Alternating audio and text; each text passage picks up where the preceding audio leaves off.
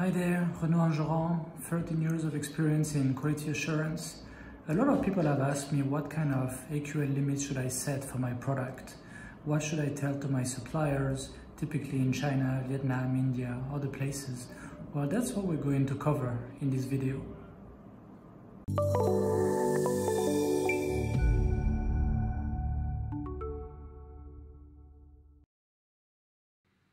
We're going to cover how to choose the AQL limits for different types of products and hopefully help you choose the limits that make sense for your products. AQL first, what is it? Acceptance quality limit, it is a limit, okay? Well, the standard says is the quality level that is the worst tolerable, okay? Uh, in other words, the maximum proportion actually, proportion of defective units um, if there's one more defect, the batch is rejected.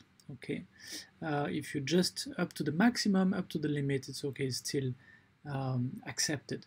And usually, when you buy uh, products overseas or sometimes also uh, domestically, but it's mostly overseas and it's mostly used with uh, Asian suppliers.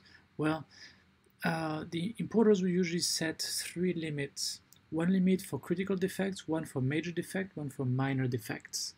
Okay, uh, and basically what does mean critical is something that might hurt the user or might um, uh, not comply with regulatory requirements. In other words, even if there's one piece uh, that that that causes one of these issues in the wood batch, you don't want the entire batch. You really want the supplier to rework, to, to sort through the, the, the batch and take it out, maybe rework it. You really cannot tolerate any. Uh, typically, that's the meaning. Major, the typical meaning is that the product does not work. Uh, the user would buy or use the, the, the product would not be happy. Okay, and then minor defects are more like inconveniences if there's a lot of minor defects, it's a problem. If there's just a few, you can really tolerate more than major. Okay, for example, a user might see it on, for example, a garment that they wear uh, or a tool that they use, but uh, they might not be very happy, but maybe it's something that they can correct themselves or something they can tolerate.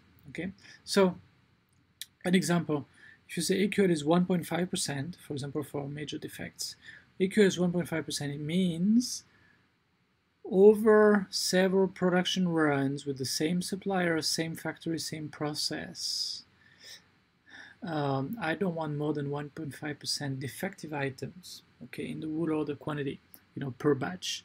Uh, but it's really on average over several batches, all right? So if you keep uh, changing from one supplier to the other, if you keep changing the product and so on, uh, it's not very applicable. You might um, you, you, you, you might be stuck with this approach, but you might have to have lower limits uh, just because this is really very lenient on the producer. Okay, so how does it work?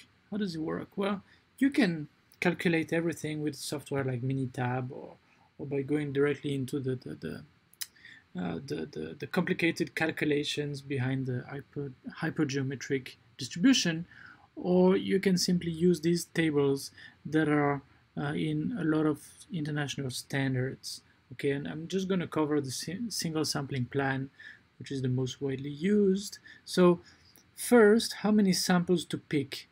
And then second is what are the limits? So let's take an example. You buy 10,000, no, let's say 5,000 pieces of a certain item. And then you go with general level 2 which is the one most commonly used and the standard says the one by default you should probably use. So you're here and the letter is L. Then you go to the second table.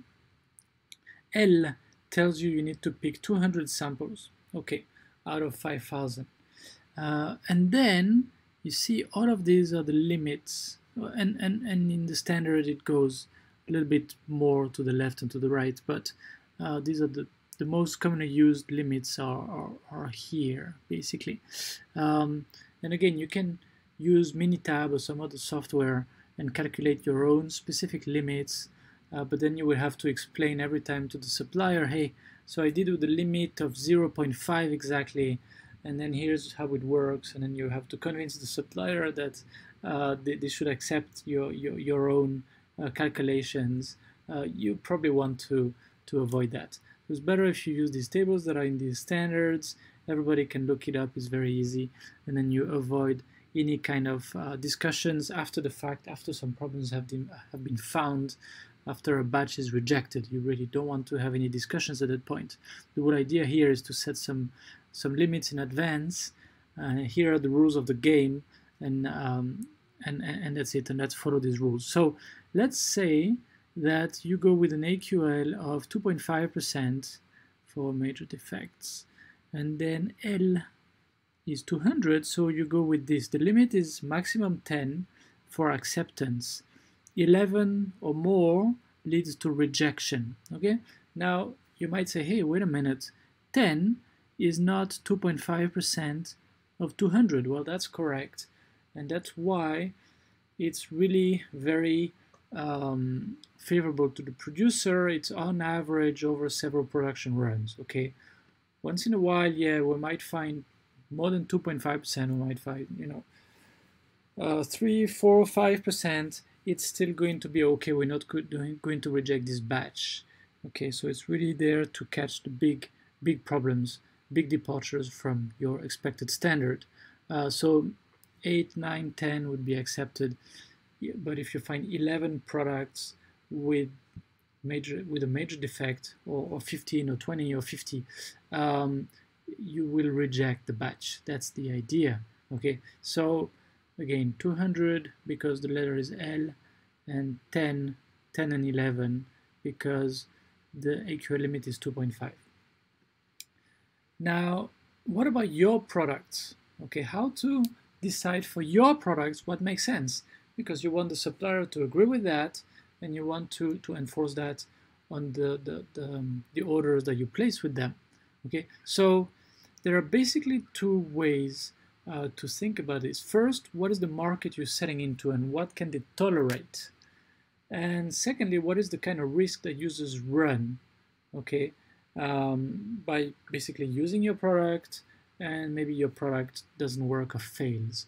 Actually, these are two related, but it's always better to start from uh, the market, start from the users. That's the idea. Um, let's look at the, the, the, the. Um, so the most common AQL limits chosen by importers, um, and I, I, should add for, for uh, consumer products. For most consumer products, and let's say sold in supermarkets in North America and, and, and Europe. Um, zero for critical defect. If we find one, it's always rejected, the whole batch is rejected. Okay, 2.5% for major defects and 4, 4% for minor defects.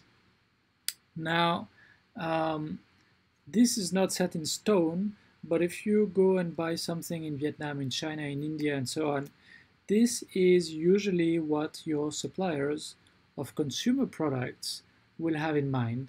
That's usually what they will want to go with. All right. Now, if you sell your products in a relatively high-end boutique channel, that's not going to work.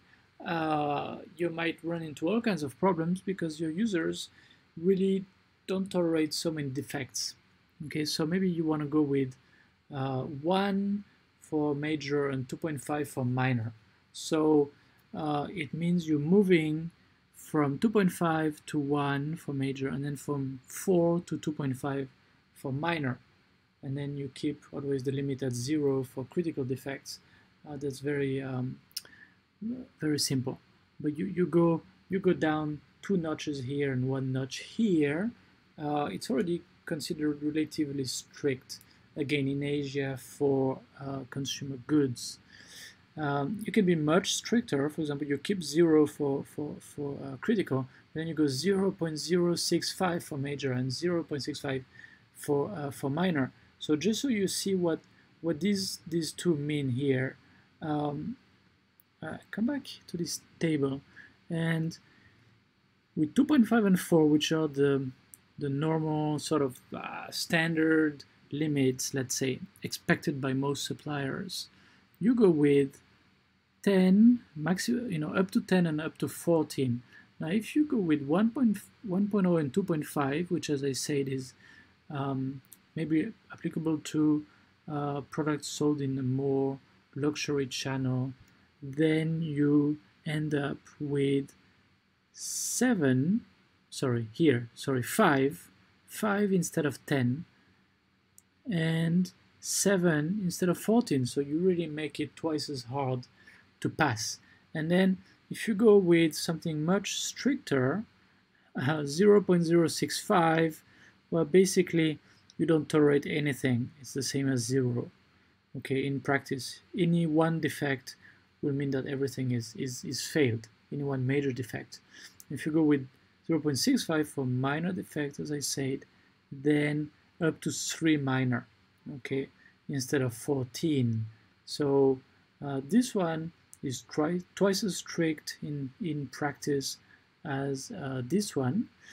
And then this one, which is much, much stricter, is uh, multiple levels more, uh, more strict. You can also go loser, you know, um, a very low-end market, maybe 4.0 and 6.5. So let's see what it means. 4.0 and 6.5 are here. So instead of uh, 10 and 14, for major and minor respectively, you go to 14 and 21 for major and minor respectively.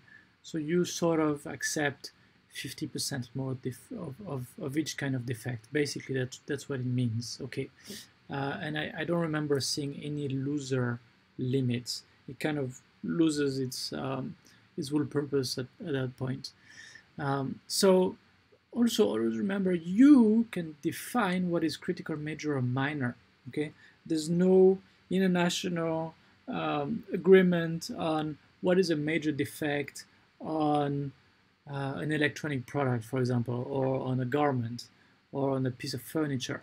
It's you know there's a general understanding let's say but you can define it and as long as the supplier agrees with that that's the rules of the game okay? So you can play with these proportions and you can also play with the, the definitions of what goes into these different buckets of uh, critical, major, minor. All right. Um, and then the second thing is the user risk. So for car parts, plane parts, pharmaceuticals, and, and, and the list could go on and on, basically nobody will say we accept X percent of defects. Uh, they, they don't want any defect. You know, you don't even start this discussion. They just don't want any defect because it might lead directly to death of, of, of a user. So they would never write anywhere, yeah, we accept, you know, 1% or something. Um, so the, the right approach, instead, instead of just doing inspections at the end of the line, is to use some quality improvement tools, uh, mistake proofing, better tooling, statistical studies, and, and improvements, and so on, on, on the process and on the inputs of the process. All right. Uh, and when a supplier is not reliable, well, guess what? They will force the supplier to pay for uh, uh, uh an inspection company, usually to come in and do containment.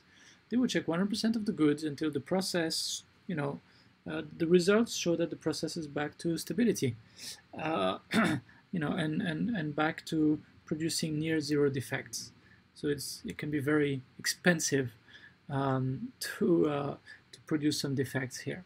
Okay. On the other hand, if you buy really cheap giveaway promotional items, well, do you even need to do inspections, right? Uh, and and that's where really you want to think of very loose limits. You might go even looser than that okay. Um, and basically that's it. So really to summarize unfortunately there's no guidelines there's no rules there's no hard rules you know.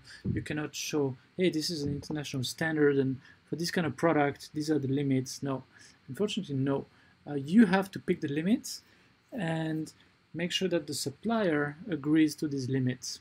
All right um, and basically if you don't want more than 1% of a certain kind of defect, let's say major defect over the long run, pick 1%, but that's if you have a stable supplier base. All right. Otherwise, you might want to try to be a little bit tighter, like 0.65, um, just to cover your risks in the short term.